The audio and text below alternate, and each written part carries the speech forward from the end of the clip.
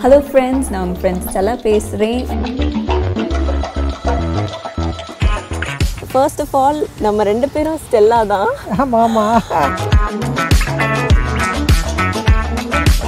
So உங்களுக்கு ஏதாவது similarities தெரியுதா நம்ம ரெண்டு பேருக்கும்? அப்படி ஒன்றும் பெருசாக தெரியல.